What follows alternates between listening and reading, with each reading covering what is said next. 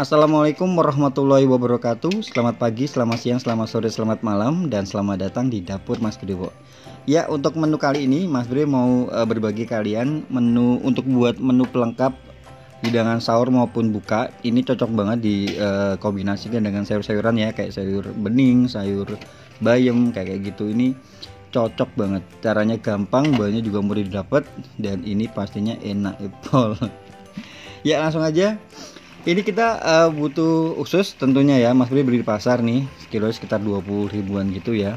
Kalian cuci ya dicuci dibilas beberapa kali. Setelah itu kalian uh, rebus ya dengan daun salam. Daun salam ini Mas Bri uh, ambil sekitar 10 10 lembar ya. Supaya baunya uh, sedep ya. Nggak bau amis gitu. Ini di apa namanya direbus kurang lebih sekitar 15 hingga 20 menit ya. Dan pancinya nggak usah ditutup ya karena kalau ditutup pasti dia akan apa namanya uh, meletup-letup gitu ya. Nggak usah tutup nggak apa-apa. Nah kalau udah dingin lalu uh, ini kita potong-potong sesuai selera ya. Bisa pakai pisau bisa pakai gunting kayak gini. Gimana maunya kalian supaya nggak ribet pakai apa enaknya? Nah kayak gini ya nah kayak gini setelah itu kita langsung tumis. Ini bumbu-bumbunya ya ada bawang merah bawang putih diris tipis-tipis gitu ya. Kemudian kalian tambahkan ada uh, salam ada laos dan juga jahe. Ya ada salam laos dan juga jahe. Laos sama jahenya digeprek ya. Kayak gitu digongso kalian gongso sampai dia berbau harum kemudian kalian uh, tambahkan ini ada gula jawa. Gula jawa mas beli pakai satu setengah uh, sendok makan ya. Nah kalau udah harum kalian bisa masukkan uh, usus ya. Ususnya tadi yang udah dipotong-potong tadi ya. Digongso. Nah kayak gini. Kemudian bisa kalian tambahkan ada saus tiram ada kecap asin dan juga kecap manis kayak gitu aja. Kemudian dikasih garam ya secukupnya.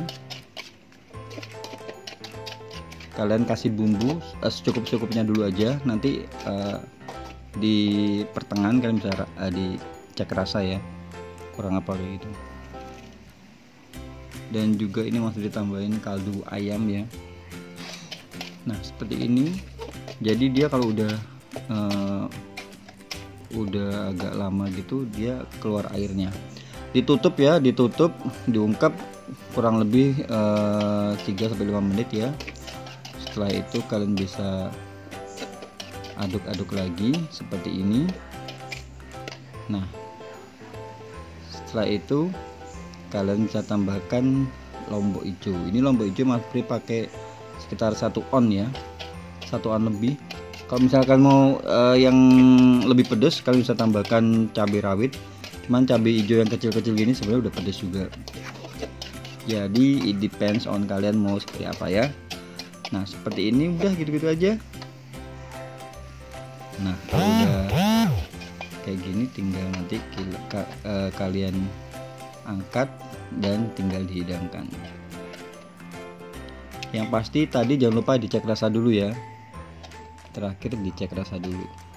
Nah itu aja uh, hidangan kali ini. Semoga kalian suka dan bisa menginspirasi juga. Dan terima kasih banyak yang udah pada mampir ke sini. Jangan lupa di subscribe dikasih like di komen dan juga di share terima kasih banyak matur nuwun.